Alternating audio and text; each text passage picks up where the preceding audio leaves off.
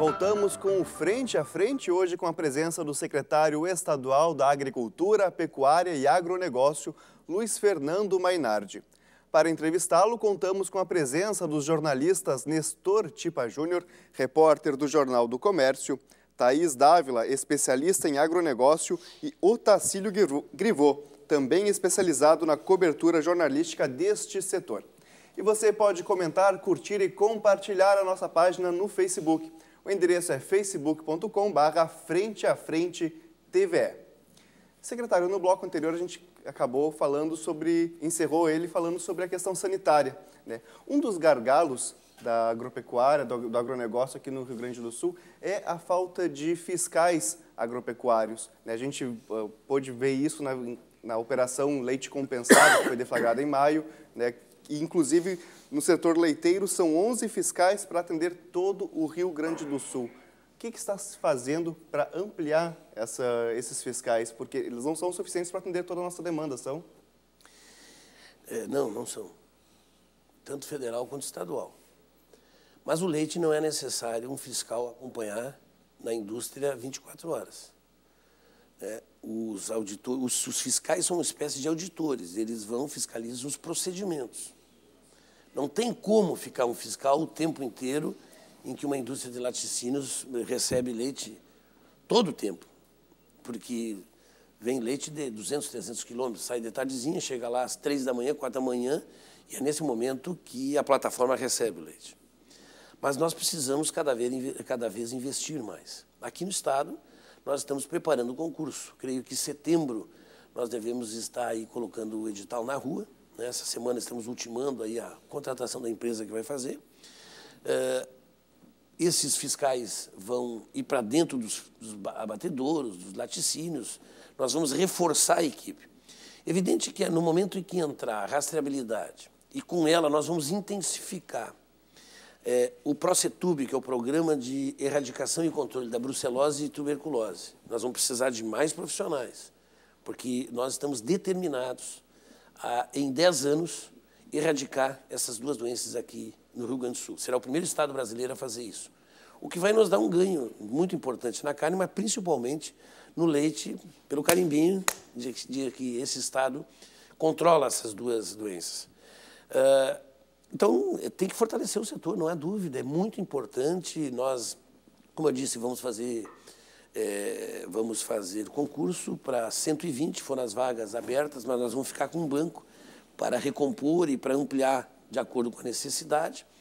Estamos investindo 60 milhões de reais entre recursos do governo federal, uma parte através de um chamado convênio plurianual. Ah, Nestor, Nestor cobriu isso aí, deu, em alguns momentos, é, interpretações aí sobre o cumprimento ou não por parte do governo federal e agora eles reafirmaram que vão cumprir a parte deles, entre recursos, portanto, deles, recursos orçamentários do Rio Grande do Sul e recursos que vêm dos financiamentos, especialmente do financiamento do BNDES, feito pela, pelo governo do Estado.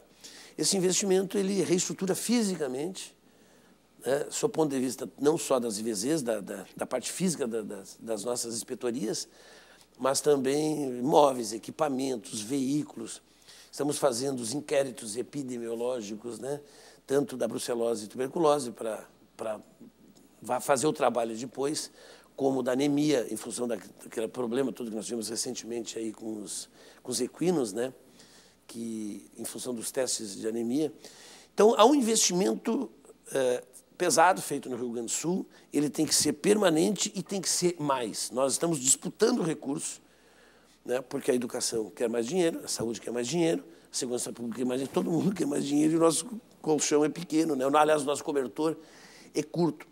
O que nós temos mostrado para o governador e para o secretário Odir é que a nossa secretaria concebe projetos dentro da lógica desenvolvimentista. Põe um recurso aqui que nós vamos transformar esse recurso em duas, três vezes mais, porque nós vamos melhorar as condições. Por exemplo, na rastreabilidade. Quando nós mostrei, quando mostramos para o governador que nós temos 70 milhões de sonegação no Rio Grande do Sul pelo abate informal clandestino e por onde se viabiliza o abjeto, o governador olhou e disse assim, mas como é que isso vai? Disse, não, acontece o seguinte, todo boi com brinco, todo animal com brinco, ele obrigatoriamente tem que ter um destino. O produtor tem que dizer para onde ele foi. E as regras têm que ser rígidas. É assim no Uruguai, é assim na Austrália, é assim em qualquer lugar. Rígido. Evidente que tem exceção, tem que ter bom senso. Evidente que isso tem que ter. Mas não vem um abjetário, né? ou alguém, um produtor que, como hoje, entrega cinco cargas com uma nota só num frigorífico e faz o abate clandestino e depois vende carne né, de qualquer jeito por aí, isso vai terminar. Com o tempo vai terminar. 70 milhões de reais é o que hoje é sonegado. Nós precisamos de 12 por ano?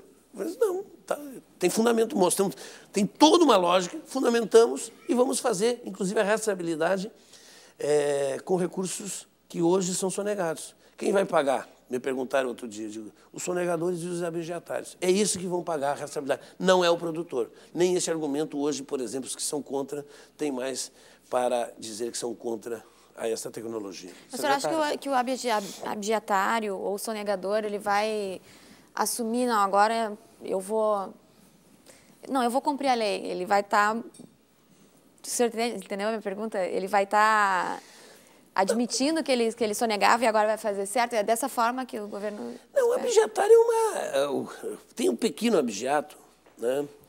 É, isso é mais difícil, por exemplo, na ovinocultura, em qualquer lugar do mundo. E nós aqui, especialmente no Uruguai, há um, um abate, é fácil de pegar uma ovelha, às vezes tu caneia por ali. Então, é, é mais, é, é, mais complexo um pouco. Né? É, mas isso quando é roubado, né? Ele é, o furto acontece em, é, com um animal, dois animais, ovelha, um boi, canela no campo. Nós estamos falando de abjeto que são é, que é realizado por quadrilhas. O furto realizado por quadrilhas. É. Então tu tem lá 30 animais que foram roubados. Esses animais têm que ser abatidos. Para serem abatidos, tu tem que ir dentro de um frigorífico que faz o abate clandestino, ou seja, que sonega, porque senão tu não tem como, como é que tu vai, tu não tem nota de produtor. Então tem rolos com produtores que recebem, que o controle de estoque não fecha. É um rolo que a gente não conseguiu ainda fechar, não, não conseguiu resolver. Com a rastreabilidade, todo animal nascido tem que ter um brinco. Se a fiscalização encontrar um animal sem brinco, ele é apreendido. E todo brinco ele é registrado em nome de um proprietário. E a toda movimentação é feita sendo anotada né, num sistema informatizado. Então não tem como um animal ter um fim que não seja registrado. O animal morreu na, na, na propriedade. Muito bem. Quando ele morre na propriedade, o produtor vai assinalar que o animal número tal morreu na propriedade. Ponto. Tá? Isso é perfeitamente né, possível, é evidente que morre. O proprietário quer fazer um abate de um animal para o seu próprio consumo, ele vai anotar que fez um abate. Então, isso é permitível. O que não é possível né, é que uma propriedade é, suma com 20, 30, 50 animais. Isso vai terminar. Isso não.